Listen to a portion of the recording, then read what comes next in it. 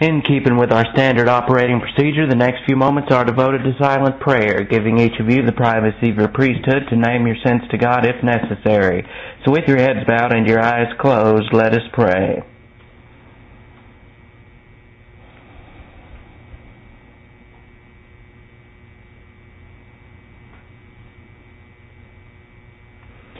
Father, we thank you for the wonderful privilege and opportunity to assemble ourselves together for the purpose of learning the Word of God. May God the Holy Spirit enlighten us concerning the things that we note, so that we might grow in grace and in the knowledge of our Lord and Savior Jesus Christ. In Christ's name we ask it. Amen. Turning your Bibles to Matthew chapter 26 verse 46. 2646. And uh, this is after our Lord had made his uh, personal prayers and for self-comfort, of course, and also utilizing the faith rest drill and utilizing the power of doctrine. Now, uh, when we get, uh, what we're going to go through now is we're going to see uh, Jesus Christ to go through some things, and then it's going to switch from Jesus Christ to Peter, and then back to Jesus Christ, and then back to Peter. And the reason why Matthew does this is he is comparing and contrasting the fact that our Lord Jesus Christ utilized the prototype spiritual life while Matthew, while uh, Peter did not. Now he doesn't even mention Peter by name, that is Matthew doesn't, because Matthew wrote this in 68 AD. And Peter was still alive when Matthew wrote his account of all of this. So out of courtesy and out of uh, the fact that he respected Peter and the fact that he didn't want to be seen as gossiping, he did not mention Peter whatsoever uh, in terms of Peter being the one betraying Christ. And he doesn't even mention his name. Very discreet. However, we know it's Peter because of uh, the fact that John, who wrote his his epistle in 96 AD, uh, along with the others, uh, the fact that John wrote in 96 AD, then therefore uh, he could write about Peter because Peter was dead. He was in heaven by that time. So we see a comparison and contrast between our Lord utilizing the Word of God and Peter utilizing sincerity. And Peter was very sincere, and we're going to see a lot of that today. Now in 2646 it says, Get up.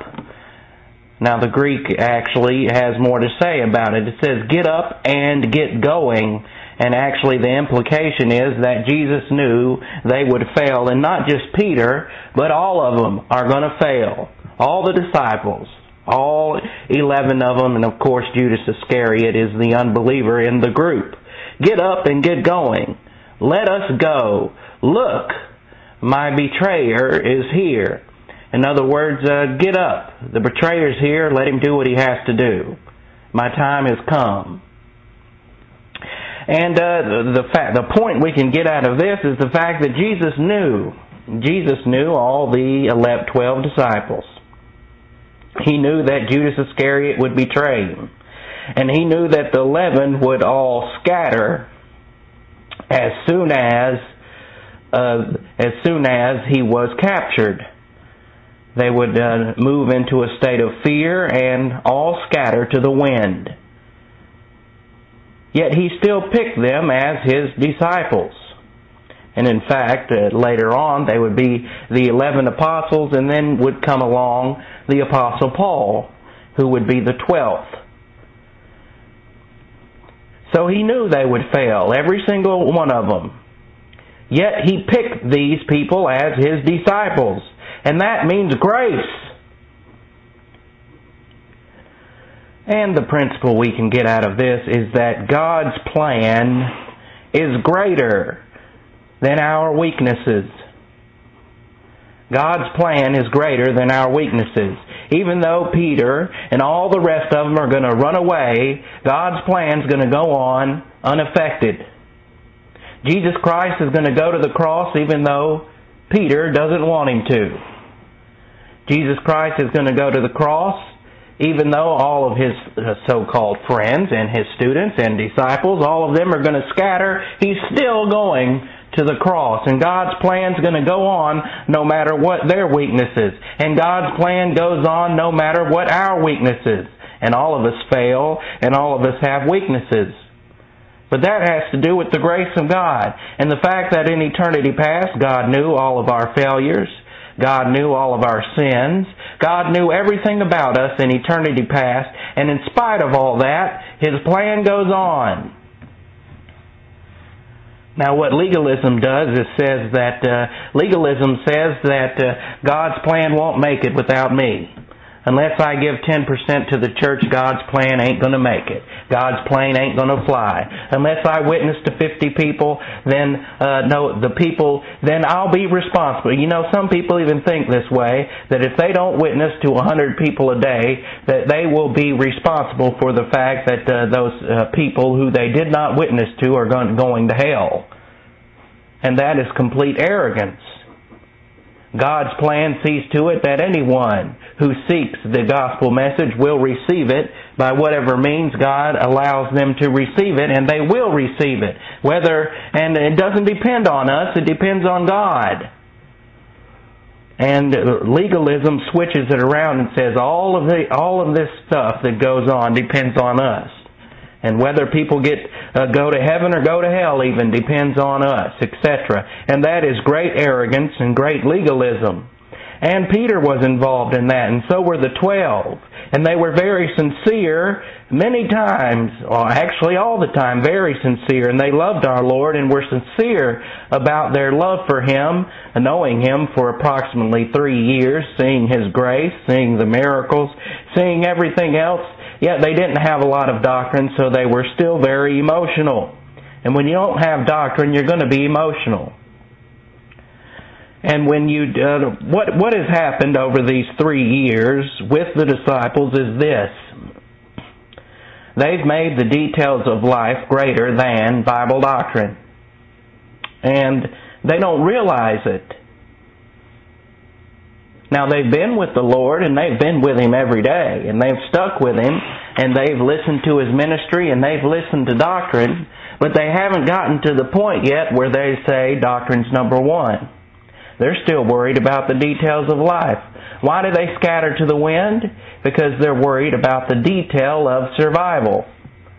They want to survive. They don't want to be killed with, they said they wanted to back in verse 35. You remember that. They all were saying, we'll die with you. But then when push comes to shove, they all take off running.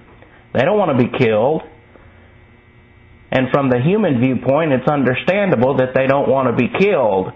But the reason they're functioning under human viewpoint is because they never made doctrine number one. And when our Lord would speak for hours upon hours, they would pick a few things up, but uh, doctrine wasn't number one. Doctrine was just another detail to them, in other words. And they all had the details of life that they worried about. Uh, Peter, a lot of times, liked to worry about food. Remember, he would get hungry and say, Where's the fish and where's the bread? I'm hungry. And I could imagine Peter being very active and very, uh, in his youth anyway, very active and uh, very hungry all the time, and just uh, uh, that kind of person, like a football player, always hungry, always needing food. And uh, so Peter would start uh, perseverating on the details of life. And just like we could uh, perseverate on the details of life, maybe a TV show uh, piques our interest more than the Word of God. And maybe uh, something else piques our, there's something comes in conflict with the Word of God, and uh, that we would rather do that than listen to the Word of God, whether it be on tape or face to face or however you get it, you would rather do something else. And this is a conflict that we all face. It was a conflict that the disciples faced. And for the first uh, three years, while Jesus was on the earth, they failed miserably. They always got their eyes on the details of life, always.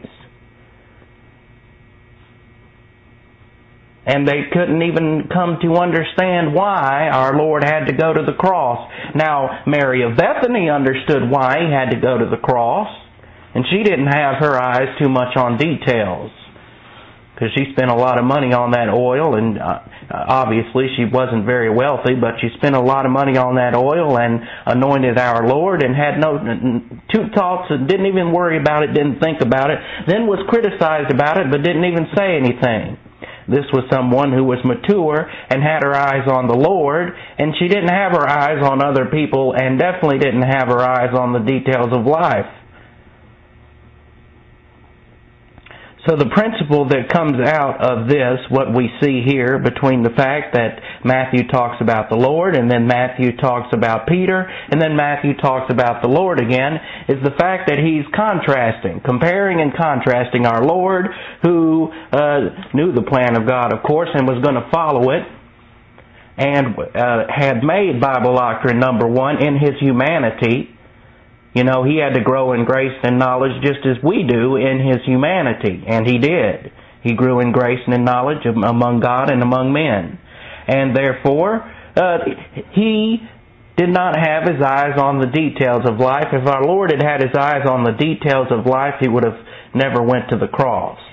But of course, such thoughts are blasphemous, so he went to the cross. Yet everyone around him made the details of life their criteria. Now in 2647, while he was still speaking, Jesus was still speaking. You know, he told him, he said, uh, get up and get going, look, or, or get up and get going, let us go, look, my betrayer is here. And as he was saying this, and along with a few other things, while he was still speaking, Judas, one of the twelve, came, and with him, I want you to notice this, and with him a large crowd with swords and clubs from the chief priest and elders of the people. From the chief priest and elders of the people means that religion instigated this. Religion instigated this uh, violent arrest of Jesus Christ, and that's because religion is the devil's ace trump. Religion is the worst thing that's ever happened to humanity, and religion is the most blinding thing that's ever happened to humanity. And so, religion gets this mob together, and it's a mob of people. There may have been some Roman soldiers there, and there may have been some centurions, and there may have been some Jewish police there as well. But this is just a mob of people with swords and clubs We've heard about people going out and looking for a criminal with pitchforks and uh, torches. Well, this is this type operation here, a type of vigilante operation. And it's a crowd of people, an actual mob, a mob of people led by the chief priest and elders of the people, elders meaning leaders. Now, why did they need such a large crowd? Jesus is one man.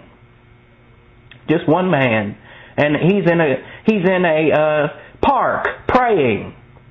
He's not bothering anybody, and yet they think they need this large crowd with swords and clubs.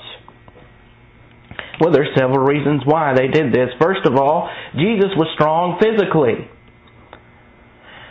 And they knew that if, that if he were to put up a fight, he's not, but if he were to put up a fight, they knew that they would need a large army of people to, to hold him back and to keep him down because they remember what happened at the uh, temple.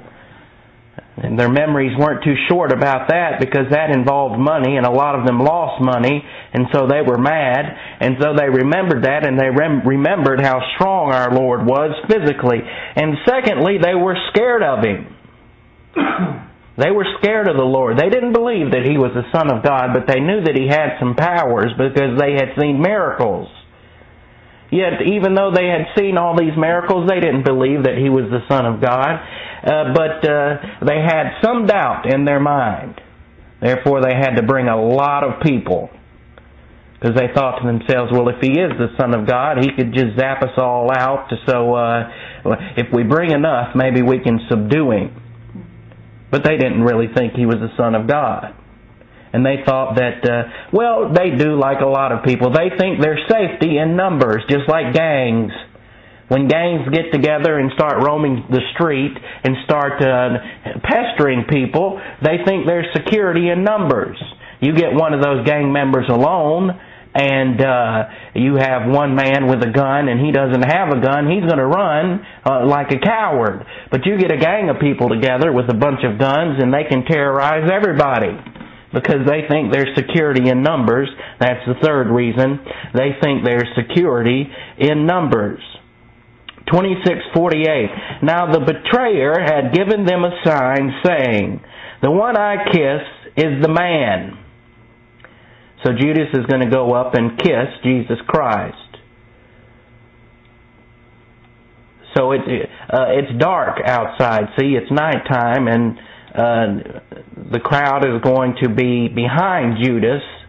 They're not going to know exactly which one is Jesus, but Judas knows because Judas has been around Jesus for three years, and Judas knows where Jesus is going to be because uh, he had been through other Passovers with our Lord, and he knew that the Lord loved this part called Gethsemane. And he knew that that's where the Lord loved to pray and teach his disciples. It was a private place. And he knew that the Lord loved to go to this park, so Judas knew he would be there. And Judas, and this was his opportunity to betray Christ.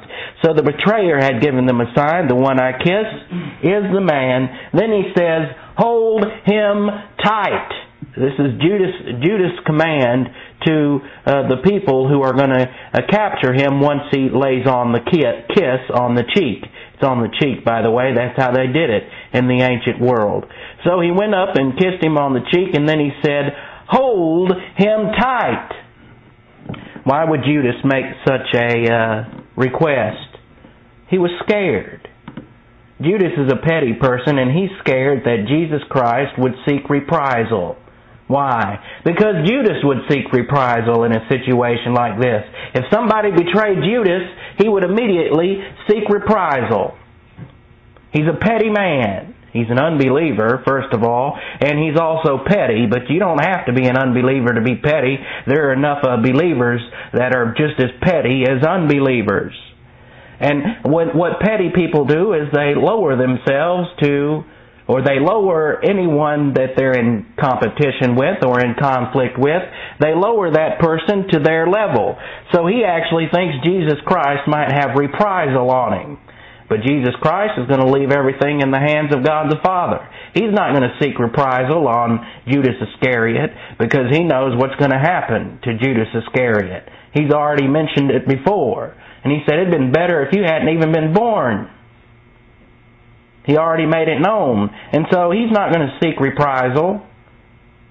Oh, he's going to get reprisal because he's going to spend eternal, eternity in the lake of fire, but that's not really why he receive, he doesn't receive eternity in the lake of fire because of reprisal. He receives it because he never believed in Jesus Christ. And this man has had opportunity after opportunity to believe, yet he never has. So Judas Iscariot feared reprisal. And um, he kissed him. He kissed our Lord, and a kiss means, in the ancient world, it means a, it's a sign of recognition. That means he recognized the Lord, that, uh, well, he had been with him for three years. It was a sign of recognition, sometimes a sign of praise when you uh, kiss someone on the cheek. And in the uh, ancient world, a man would kiss man on the cheek, and woman would kiss woman on the cheek, and uh, it didn't mean anybody was gay. That's just the way they did it. It's like a handshake that we use today. We handshake, which is I think's better, but back then they would kiss each other on the cheek. And in the Arab world, they still they still do it that way. Kiss each other on the cheek, one side and then the other. And so this is what Judas does to uh, Jesus, and it's a sign of recognition, first of all, to receive this kiss. Yet uh, Judas is being hypocritical. Judas doesn't recognize Jesus Christ as the unique Son of God. He recognizes him as rabbi, as a teacher, as a master, doesn't recognize him as the Son of God, the unique person of the universe. So he's being very hypocritical. Then in 2649, you see, he said, hold him tight. He was looking for reprisal. But then uh, Jesus is about to, uh, it probably really shocks Judas. It shouldn't shock Judas after all that, that he's seen, but since he's an unbeliever, he hasn't really recognized or understood anything that has gone on, and so this probably shocked him. Immediately, he came to Jesus and said, Greetings, Rabbi. That means, uh, uh, your Bibles might say master. It's teacher. It means, uh, it means a teacher, usually teacher of the law like the rabbis and kissed him. And he didn't say Lord. All the other disciples would say Lord. Greetings, Lord. Good morning, Lord. How are you, Lord? That would recognize his deity. But Judas says Rabbi, along with all the other unbelievers who were at that time saying Rabbi. And Jesus said to him, and this is what's going to take Judas aback. Jesus said to him, Associate. Your Bibles might say friend. But notice it doesn't say anything regarding family. Doesn't say brother. Doesn't say son. Nothing regarding family. You see, when uh, Jesus Christ uh, recognizes believers, you, you, know, he does like he did with uh, the fact that uh, they said, Hey, your mother and your brother's outside and they are seeking you and he would say, "These aren't." Uh, you want to know who my mother and my brothers are? It's this family, the disciples, the eleven here. But in this case, he doesn't say brother. He doesn't say son. He doesn't use any type of familial recognition. So Judas is not in the family of God, and really in the Greek it says associate. Jesus said to him, Associate, do what you are here to do. Now in the King James, I think it says, I think it uh, asks a question and it says, What are you, why are you here, or what are you doing here? Well, Jesus, Jesus knows why, and that's just a mistranslation. And Jesus isn't an idiot and he doesn't look at uh, uh, Judas and say, uh, "Friend, what are you doing here?" And that's stupid because just before this, he's talking about the fact that his betrayer's here. So you can tell they didn't get the Greek right. And the Greek here is simply this: the Greek is uh, what it comes out from the Greek is this. It says what I lost my greetings, Rabbi, and he kissed him. Associate, do what you are here to do. He's not asking a question. He's just telling Judas, hey, do what you're here to do. And that must shock him. In other words, run your little errand, boy. Run your errand and uh, uh, get your 30 pieces of silver. Then they came and seized Jesus violently and arrested him. And they did it with violence, and they arrested him with violence. But one of those, 2651, okay, the corrected translation 2650, Jesus said to him, Associate, do what you are here to do. Then they came and seized Jesus violently and arrested him. 2651. But one of those, this is where Matthew leaves out the name Peter. This is Peter who actually does this uh, here, but he leaves it out. He's not going to mention Peter because he's writing in 68 AD and Peter's still alive. But one of those.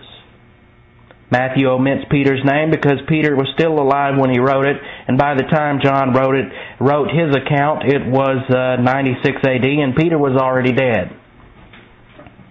But one of those with Jesus grabbed his sword, drew it out, and struck a soldier. The soldier's name is Malchus.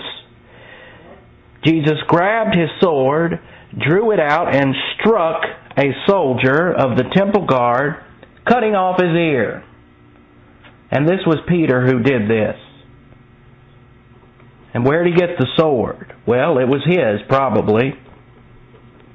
And what this shows, it shows many different things. Peter remembers what he said back in verse 35. And Peter remembers saying that, uh, I am willing to die with you, Lord. Peter remembers saying this at this time. And he was sincere about it. And in fact, he's so sincere and he's so emotional that at this point, when he sees them arresting Jesus, he just pulls the sword out of his sheath, probably a Machaira, and he pulls it out from probably behind his shoulder, and whack, slices off Malchus's ear, which shows he's a bad shot. He wanted to kill the man, but he's so emotional, and when you're emotional, you don't really, uh, you're not very accurate in your throws or in your punches. If you ever get in a fight, make sure that you're cool-headed, or at least uh, try to be cool-headed, and try to think about uh, where you're going to punch. Punch in the solar plexus, knock the wind out, and then punch them in the face uh, while they are immobilized. And there are other ways, if you've studied fighting, how to do it. But Peter's so emotional, he just pulls it out, and right, and hits his ear. He wanted to split his head in two, but he got his ear instead. And so the soldier's ear flops off. And then, uh, of course, uh, Jesus puts it right back on, and that probably shocked Malchus. Uh, Malchus probably uh, thinking, uh, he's one of the soldiers, and he's probably thinking, "Man, I just lost an ear for this stupid uh, event." And then Jesus just slaps it back on. You might not see that here in Matthew, but it comes out in Luke and in other uh, places. So, but one of those with Jesus grabbed his sword, drew it out, and struck a soldier of the temple guard, cutting off his ear. So Peter was emotional. We know this is Peter from uh, the fact that we get it from the uh, uh, the uh, John. We get it from the Gospel of John. And Peter was very emotional, and he was very sincere, and he wanted to save Jesus. And if you think about that, that's pretty arrogant. Uh, I will save Jesus. Jesus is the one who saves us. We don't save Jesus Christ. And he's going to save Jesus because he has said, and back in verse 35, he has already said, I'll even die with you. So he's trying to live up to what he said. He remembers what he says at this point. He's trying to live up to it. And he's saying, I'm going to prove it to you, Lord. And off goes the ear. But then he gets uh, berated by the Lord as soon as it happens. In 2652, then Jesus said to him, Put your sword back in its place. So it was his sword. And it was probably uh, behind his shoulder. And it says, and he says, Put your sword back in its place. For all who take hold of the sword will die by the sword. Now, this means that uh, Peter was about to commit murder. They were uh, going to arrest Jesus. He was a soldier. He was just following orders. As a soldier, Malchus, as a soldier, was following orders, and he was going to arrest Jesus.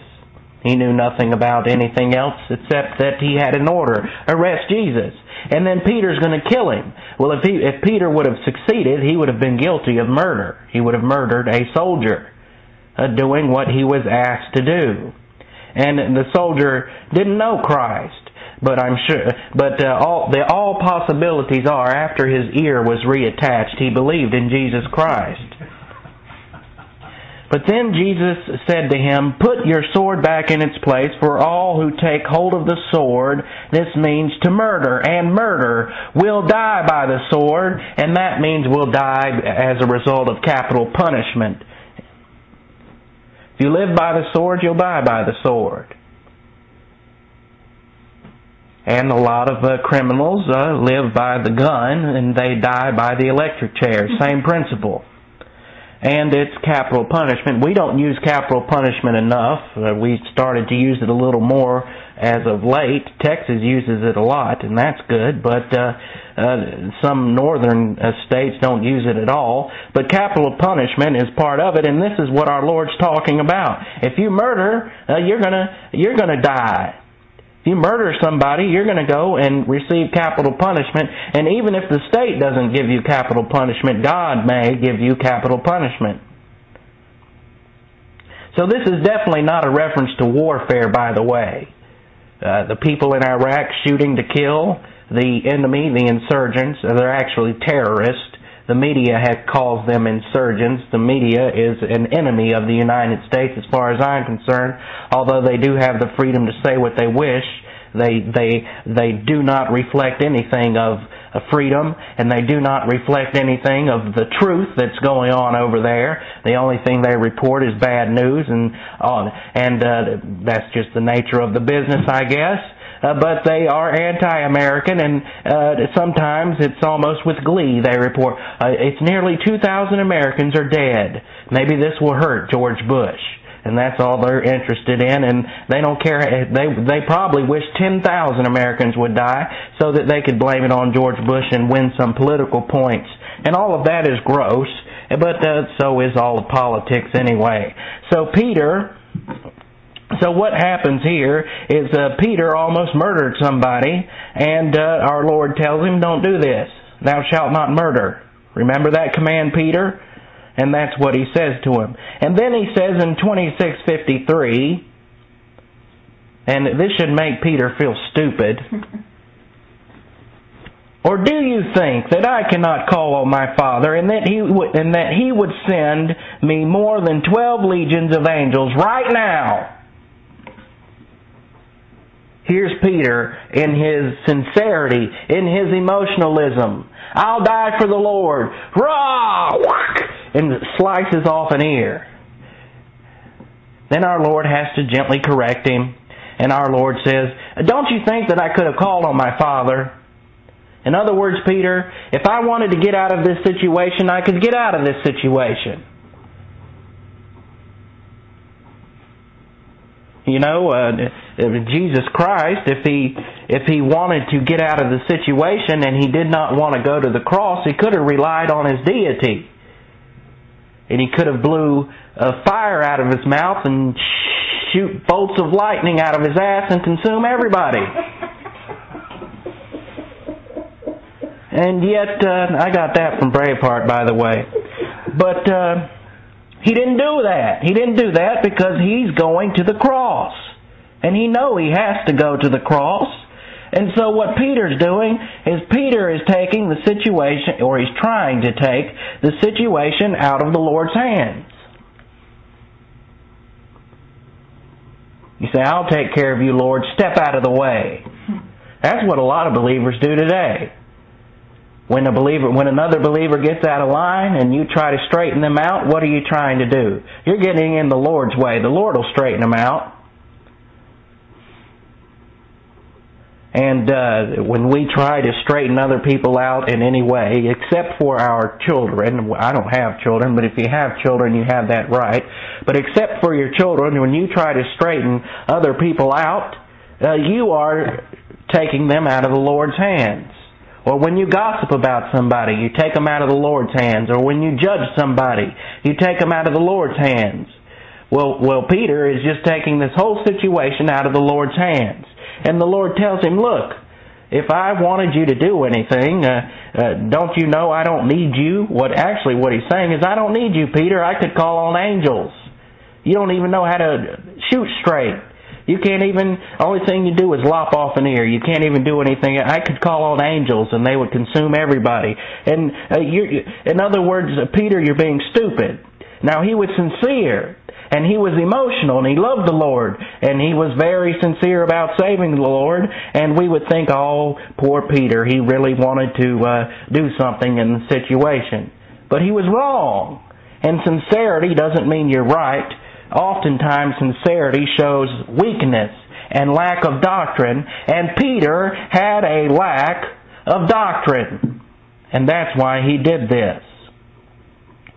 Then in 2654, our Lord is going to teach Peter this doctrine again. And he's been telling, she's been trying to tell Peter over and over again, and we've seen this all through Matthew. He's been trying to tell Peter, he's been saying, Peter, I'm going to go to the cross and I'm going to die as a substitute for the world. And then Peter will say, Oh no, Lord, you're not going to die. And then Jesus would say, Get behind me, Satan. I'm going to the cross. And then again he would bring it up. In two days from now, I'm going to the cross. And then he would bring it up at Gethsemane while he was praying, and he would he would say, "You keep watch and pray because I'm about to go to the cross." And through all of this, I guess Peter just doesn't believe it. So again, he has to teach him something, and he says, How then would the scriptures that say the cross must happen this way be fulfilled? How then would the scriptures that say this, your Bibles might say this must happen, that means the cross, how then would the scriptures that say the cross must happen this way be fulfilled? In other words, if Peter had known Scripture, if Peter had known that Jesus Christ had to go to the cross, he wouldn't have been trying to cut off people's ears. He wouldn't have been acting in this manner. And Peter is functioning under satanic viewpoint. And he is trying to prevent our Lord from going to the cross, just as Satan tried to prevent our Lord from going to the cross. And when you don't have Bible doctrine, you're going to operate under satanic viewpoint. And when you have not made Bible doctrine number one, you are going to operate under satanic viewpoint. And when the details of life uh, become more important than Bible doctrine, you are going to have satanic viewpoint. And this was Peter's problem at this point. Later on, he grows up. Later on, he realizes it. But he's been with the Lord for three years and he just hasn't listened to a thing he said. He's been there, but he tunes him out or goes to sleep or something else. Who knows what he's been doing, but he just hasn't learned a thing even though he's been there for three years. And he's operating under satanic viewpoint because he's trying to prevent our Lord from going to the cross, and to do so would prevent us and him from receiving salvation. Definitely satanic. 2655. At that hour, Jesus said to the crowd, Have you come out with swords and clubs to arrest me like you would a robber? Now, our Lord wasn't going to fight back, but He's going to make a statement. And He's going to make a statement that makes people think. Our Lord's always interested in making the wheels turn in people's head and heads, and that's why He always has been so upfront and has been so plain spoken. Because plain speech is the best speech, and you might as well put it out on the line so that at least people can think about it. Don't shroud your speech. Uh, make sure that people know uh, what you stand for and where you're coming from and who you are. And that's what the Lord does. And he's not scared of people. And he's about to go to the cross and he's not scared of this crowd. So he asks them a question in order to pique or some interest because there are some Roman soldiers there and there are others there who will later come to believe in Christ. And so he asked them a simple question. Have you come out with swords and clubs to arrest me like, uh, have you come out with swords and clubs to arrest me like you would a robber? Day after day I sat teaching in the temple courts, yet you did not seize me. In other words, if I were committing crimes, and if sitting in the temple courts as I was was a crime, why have you waited till now? If I was a criminal and everything that I was doing was criminal, why didn't you arrest me at that point? Why did, in other words, why didn't you take me red-handed? You know, they caught him red-handed in the temple saying that the temple will be destroyed and it will be raised again in three days. And that's exactly what he said. And what he's saying is, uh, if what you're arresting me for is worthy, why didn't you just do it and while uh, you could have caught me red-handed? That's what he's saying. But they didn't. Uh, they waited until uh, he was alone in privacy, and then they uh, attacked him and uh, caught him at night time. Then he goes on to say in 2656, But all this happened so that the scriptures of the prophets would be fulfilled.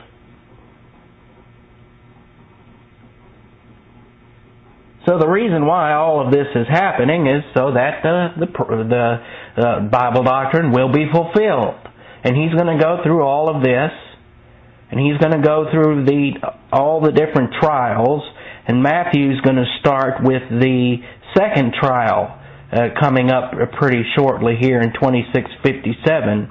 He starts with the second trial. The first trial is covered in John uh, 18, 12 through 24, and Matthew recognizes the second trial, and there are several different trials that our Lord goes through. This one's going, to occur at night time. This trial is, and uh, which means uh, they do it in secrecy and they have and they try to stack the deck against our Lord, etc. They violate all of Jewish law in what they're about to do, and they have to to get a guilty verdict. They're going to stack the court against him, and they're going to violate everything in Jewish law, such as having uh, two witnesses uh, to go against you who are uh, not associated and who have the same message yet have not cooperated with each other, yet they cooperate even though they may be in different states or in, uh, in, in two different places. And, but they're not going to follow the law. They're not interested in the law. They're interested in uh, making sure our Lord goes to the cross, which is where He wants to go. Well, He doesn't want to go, but that's where the plan of God has Him going anyway. Then all the disciples left him and ran away. All of them. And remember back in verse 35, all of them said, We'll all die for you. Well, Peter said it first, then they all chimed in. That's true, Lord. We'll all die for you. We're not going to let this happen to you. We will all die for you. And it was all emotionalism. And emotionalism doesn't carry you. Bible doctrine carries you. And Peter didn't have enough Bible doctrine. He had a lot of emotionalism. And he was brave enough to cut off a soldier's ear without even thinking about the consequences. Those uh, Roman soldiers, like Malchus, were trained so well, but I'm sure Malchus was in shock but uh, they were trained so well that uh, if, if if he were uh, ready for battle, and uh, Peter just runs up and swipes off his ear, the next thing Peter knows, his head is laying on a platter because the Roman soldier just comes back and goes and that's it. But the Roman soldier didn't do that. Roman soldier was probably in shock because uh, he probably knew it was uh, going to be a peaceful arrest. He probably had it settled in his mind. Nothing's going to happen. I've seen this man Jesus he's just going to go away with us peacefully. That's probably what he had in his mind.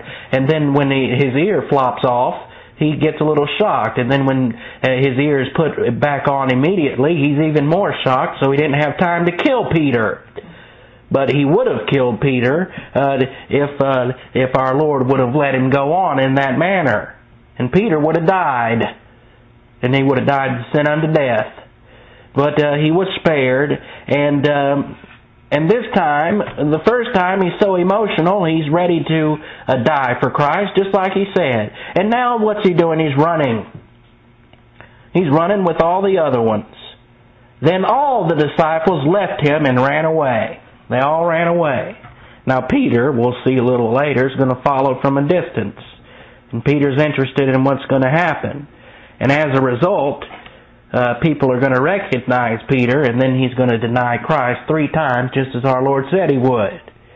So we see how Matthew switches back and forth from uh, what our Lord did to what uh, happened with Peter. And the reason why is Matthew is showing us that the Lord used the prototype spiritual life. He used Bible doctrine. And the Lord was very calm through the whole situation. He knew it was going to happen. He was ready to go to the cross, and uh, nothing was going to stop him from going to the cross. And the whole way he's uh, preaching doctrine, and he's filled with doctrine, and that is what sustains our Lord. Now, all this emotionalism and all of this uh, uh, sincerity that Peter has does not sustain Peter, neither does it sustain any of the other disciples. So Peter uses emotion. Jesus Christ uses doctrine. Peter makes emotion his God. Jesus Christ makes doctrine his God. And the last words that Jesus Christ says on the cross are found in the Psalms. And what he says, the last three wor- or four words are, or a little more than that maybe, O Lord God of doctrine. Then he breathed his last. His last word on the cross was doctrine. And that is what sustained our Lord. And that is what Peter doesn't have, and that's why he's not sustained, because he's too worried about the details of life. He's too worried about survival. Yet it's already been made clear that uh, uh, even uh, bread is not as important as the Word of God. You shall, you shall not live by bread alone, but by every word that proceeds out of the mouth of God. That's Bible doctrine. So now Peter's all worried about uh, saving his own skin. That's a detail in life, really, for him at this point. So with your heads bowed and your eyes closed, Father, we thank you for the wonderful privilege to understand uh, the predicament of Peter and to understand how our Lord handles this situation so that we can come to uh, understand more clearly the importance of doctrine and how sincerity is not the issue, but positive volition toward doctrine, growing in grace and in knowledge is the issue so that we might glorify you. In Christ's name we ask it. Amen.